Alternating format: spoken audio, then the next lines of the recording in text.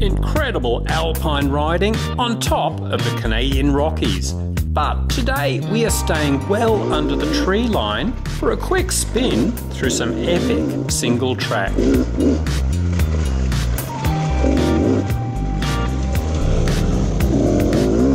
We are quite close to the Alaskan border this far north, and the event? It's Traction E-Rag's Grizzbait.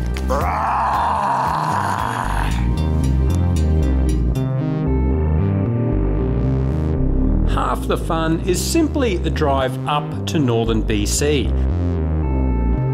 Through towering mountains and tunnels through the avalanche areas.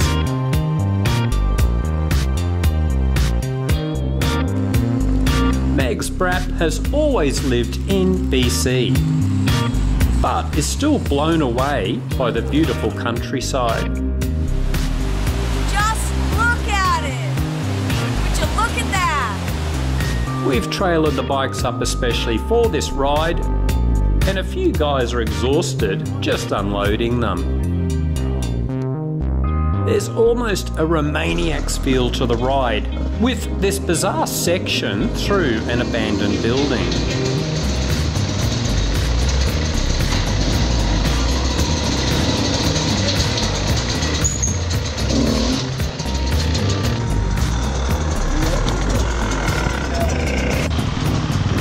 I'm the sweep rider and occasionally drop back so I can pick the speed up.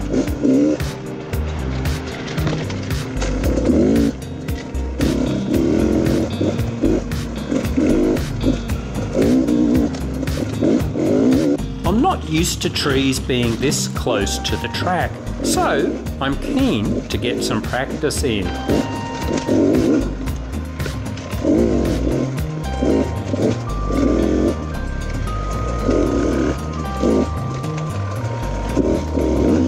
Plenty of angled logs to practice the log hops, and even the magic balancing powers of the E-Rag Tutu are being strained.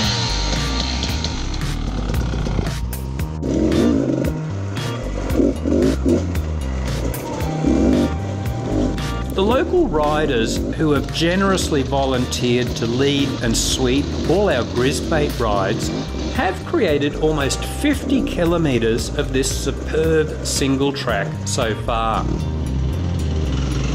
And while it's flat, there are plenty of things to mess you up fast.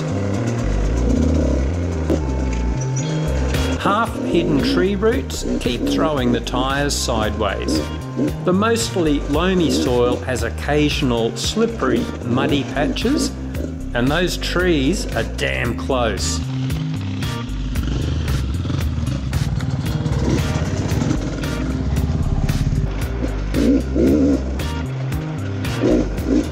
Here there, I can feel the bars brushing against the trees, and I'm very aware that clipping a tree could result into slamming head on into the next one. And in fact, this did happen to one of our riders, who we took to hospital with a nasty concussion. More on that in a coming supporters vid.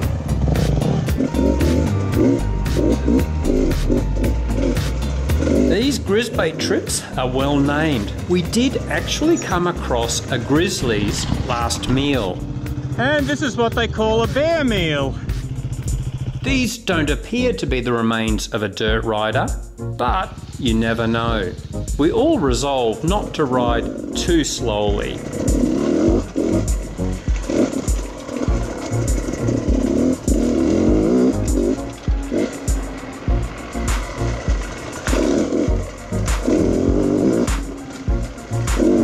First, I thought I was riding okay through this track, but later I tried to follow some local riders on this trail. One of the guys was on a four stroke 450, and I simply couldn't keep up with him. I did find out later most of the local guys trim their handlebars down so they are less likely to hit the trees. Oh, nice fill.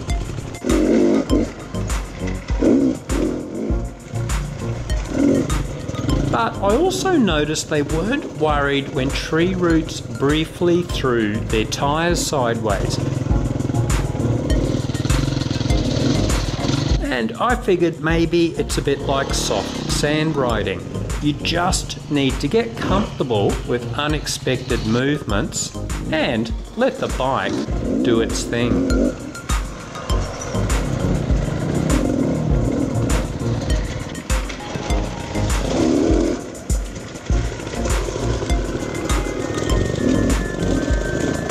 Anyway, there's a supporters vid coming soon that shows my attempts to fly through this terrain with the locals Come on. and failing to stay with them for very long.